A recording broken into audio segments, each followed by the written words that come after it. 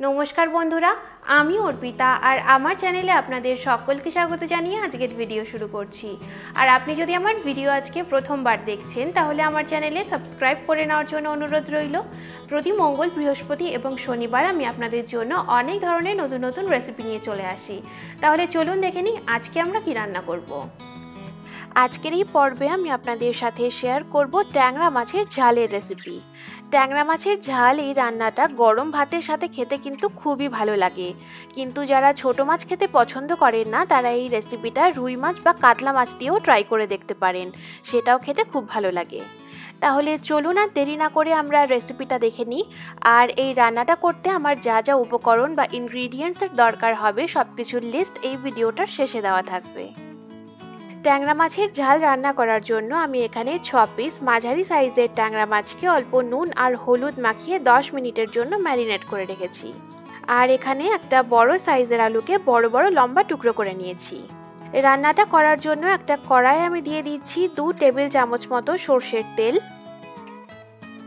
তেলটা খুব ভালোভাবে গরম হয়ে গেলে এতে আমরা নুন হলুদ মেখে রাখা ট্যাংরা মাছগুলো দিয়ে কড়া করে লাল করে ভেজে নেব। মাছগুলো আমরা বেশি আছে ভাজবো আর উল্টে পাল্টে লাল করে ভেজে নিতে সময় লাগবে চার থেকে পাঁচ মিনিট। মাছগুলোকে মাঝে মাঝে সাবধানে উল্টে দিতে হবে আর যেহেতু আমরা বেশি আছে ভাজছি তাই খেয়াল রাখতে হবে মাছগুলো যাতে পুড়ে না যায়।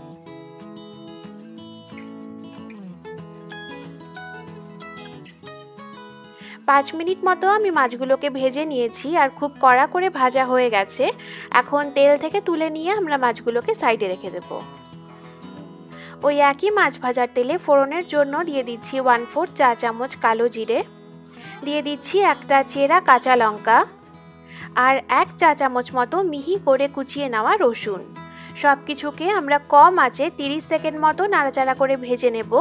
এতে রান্নাটায় একটা খুব সুন্দর রসুনের গন্ধ আসবে। এরপর আমি তেলে কেটে রাখা আলুর টুকরোগুলো দিয়ে দিচ্ছি। তারপর আলুগুলোকে দু থেকে তিন মিনিট মতো বেশি আছে লাল করে ভেজে নেব। দু তিন মিনিট পর আলুগুলো যখন লাল হয়ে আসবে, তখন এর মধ্যে একটা ছোট সাইজের কুচিয়ে নেওয়া টমেটো দিয়ে আরও এক মিনিট মতো বেশি আছেই নাড়াচাড়া করে নেব। টমেটোগুলো যখন একটু গলে আসবে, এর মধ্যে আমরা দিয়ে দেব এক চা চামচ জিরে গুঁড়ো। এক চা চামচ কাশ্মীরি লঙ্কার গুঁড়ো, দিয়ে দেব স্বাদ মতো নুন, হাফ চা চামচ মতো হলুদ গুঁড়ো, হাফ বা এক চা চামচ চিনি, আর অল্প জল দিয়ে মশলাগুলোকে তিন থেকে চার মিনিট মতো মাঝারি আছে নাড়াচাড়া করে কষিয়ে নিতে হবে।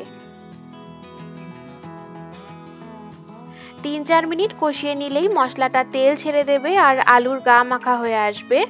এখন আমরা এর মধ্যে দিয়ে দেব হাফ কাপ মতো জল। দিয়ে দেব তিন থেকে চারটে কাঁচা লঙ্কা আর তারপর সব কিছু ভালো করে নেড়েচেড়ে মিশিয়ে নিয়ে ঢাকনা চাপা দিয়ে চার থেকে পাঁচ মিনিট মতো ঝোলটাকে ফুটিয়ে নেব। এতে আলুটা ভালোভাবে সেদ্ধ হয়ে যাবে। চার মিনিট মতো আমি কম আঁচে ফুটিয়ে নিয়েছি। দেখতেই পারছেন মশলার ওপর থেকে তেল ভেসে উঠেছে আর আলুগুলো কিন্তু প্রায় অনেকটাই সেদ্ধ হয়ে এসছে। এবারে এর মধ্যে আমরা দিয়ে দেব এক কাপ মতো হালকা গরম জল। ভালো করে সব কিছু নেড়ে চেড়ে নিয়ে মশলাগুলোকে ঝোলের সাথে মিশিয়ে নিয়ে মাঝারি আছে ঝোলটাকে একটু ফুটে উঠতে দেব। ঝোলটা একটু ফুটে উঠলেই এর মধ্যে ভেজে রাখা ট্যাংরা মাছগুলো দিয়ে নাড়াচাড়া করে মাছগুলোকে ঝোলের সাথে মিশিয়ে নেব। আর তারপর ঢাকনা চাপা দিয়ে ঝোলটাকে কম আছে পাঁচ থেকে ছ মিনিট ফুটতে দেবো। পাঁচ ছ মিনিট ঝোলটা ফুটিয়ে নেওয়ার পর কড়ার ঢাকনাটা তুলে নিয়ে ঝোলটাকে একটু নেড়ে নিচ্ছি। আর দেখতেই পারছেন, আলুগুলোও কিন্তু খুব ভালোভাবে সেদ্ধ হয়ে গেছে। এখন ওপর দিয়ে অল্প গরম মশলাগুলো ছড়িয়ে দিয়ে হালকা নাড়াচাড়া করে আমরা গ্যাসের আঁচটা বন্ধ করে দেবো। গ্যাস বন্ধ করার পর ওপর দিয়ে অল্প ধনে পাতা কুচি ছড়িয়ে হালকা করে ঝোলের সাথে মিশিয়ে নিয়ে আমরা আবার কড়ার ঢাকনাটা চাপা দিয়ে দেব আর তারপর ঝোলটাকে 10 মিনিটের জন্য দমে রেখে দেব। এতে ঝোলের মধ্যে ধনে পাতা আর গরম মশলার গন্ধটা ভালোভাবে এসে যাবে। দশ মিনিট পর আমি কড়ার ঢাকনাটা তুলে নিচ্ছি আর আমাদের ট্যাংরা মাছের ঝাল কিন্তু একদম তৈরি। রান্নাটা দেখতে যতটা ভালো, খেতেও কিন্তু ঠিক ততটাই টেস্টি গরম গরম ভাতের সাথে এই ট্যাংরা মাছের ঝাল খেতে কিন্তু খুবই ভালো লাগবে। তাহলে বন্ধুরা, আজকের এই রেসিপিটা আপনাদের কেমন লাগল নিচে কমেন্ট করে কিন্তু আমাকে অবশ্যই জানাবেন। আর আমার দেখানো রেসিপিগুলো যদি আপনাদের ভালো লেগে থাকে, তাহলে আমার ভিডিওগুলোকে লাইক আর শেয়ার করার জন্য অনুরোধ রইল। আর আমার আগামী ভিডিওগুলোর নোটিফিকেশন পাওয়ার জন্য আমার চ্যানেলে সাবস্ক্রাইব করে নিতে কিন্তু একদম ভুলবেন না।